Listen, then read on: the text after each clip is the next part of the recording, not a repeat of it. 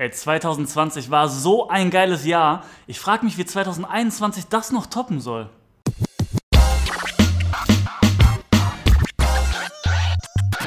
Ach Mann, ich würde so gerne mal wieder einfach nur einen entspannten Tag zu Hause verbringen. Digga, check mal die Seiten, check mal den Bart. Ich habe mich selten so fresh gefühlt, Digga. Alles richtig clean. Boah, ey, dieses verdünnte Desinfektionsmittel aus dem Supermarkt, das riecht so geil. Boah, ich krieg da einfach nicht genug von. Ja klar, die Novemberhilfe habe ich schon lange auf meinem Konto. Seit November, sagt ja der Name, ne? Boah, ob der Biden das so hinkriegt mit der Präsidentschaft, ich weiß es nicht. Also viel besser als Donald Trump kann man das ja nicht, nicht machen eigentlich, ne? Jetzt ist es soweit. Jetzt erfülle ich mir meinen größten Traum. Jetzt eröffne ich endlich mein eigenes Restaurant.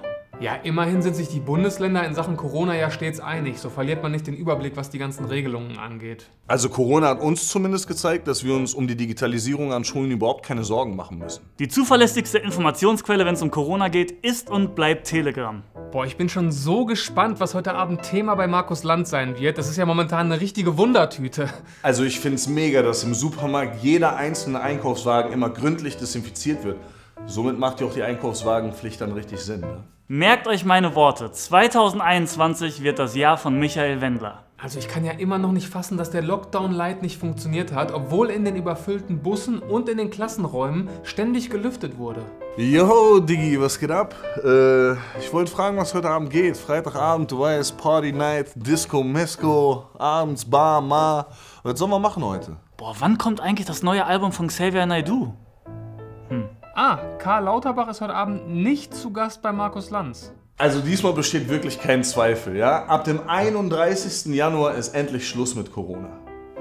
Ich war in meinem ganzen Leben noch nie so gut in Form wie jetzt. Ernährung läuft, Fitness läuft, alles läuft. Bombe. Nee, also meine Netflix-Watchlist, die ist noch ewig lang. Ich komme da gar nicht hinterher. Ach man, verdammt. Wo bleibt denn jetzt mein Steuerbescheid? Ey? Ich kann's kaum abwarten, bis er endlich da ist. Hä, voll nice. Meine Bildschirmzeit ist schon die fünfte Woche in Folge gesunken. Mega. Also ich habe mir jetzt mal so ein paar Videos von diesen Corona-Demos angesehen und ich muss zugeben, dass die meisten Theorien dieser Leute dort schon fundierter und einleuchtender sind, als ich dachte. Ich glaube, die sind da echt einigen spannenden Dingen auf der Spur.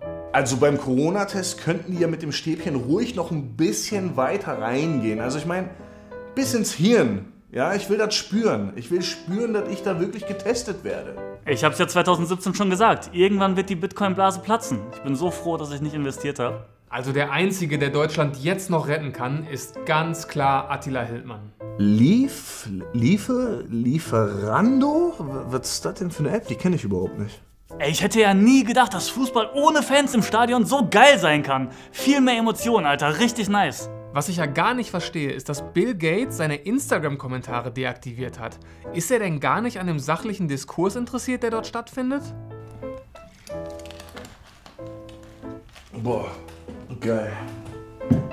Oh, fuck. Ich muss rülpsen. Warte, warte, warte, warte. Oh.